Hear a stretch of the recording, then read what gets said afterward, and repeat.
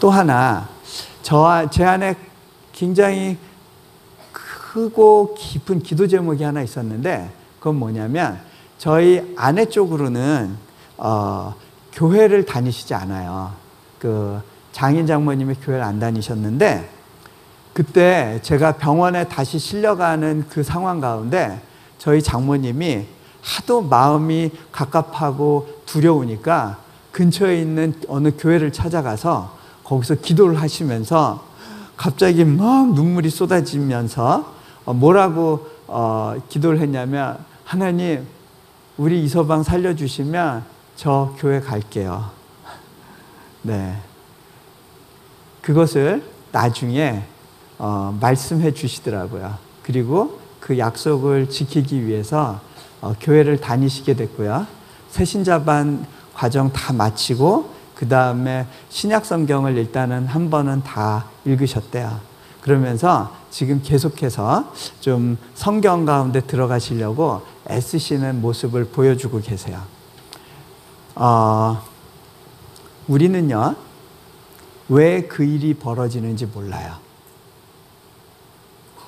그런데 하나님의 선하신 계획이 그 배후에 있어요. 그래서 말씀하시는 거예요.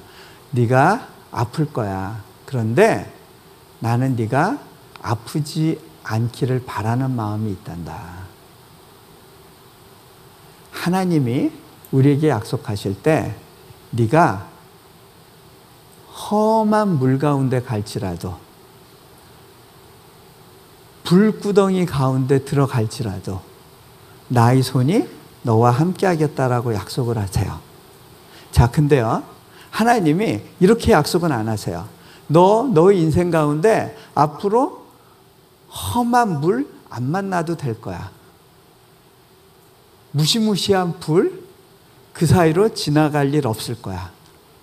그렇게 약속하시지는 않아요. 우리 인생 가운데 하나님과 동행하는 그 삶 가운데 험한 물이 있어요. 그리고 무서운 불도 있어요. 하나님은 그걸 없애주시지 않아요. 우리와 함께 그것을 통과해 가주시도록 그렇게 우리의 삶을 디자인해 가세요.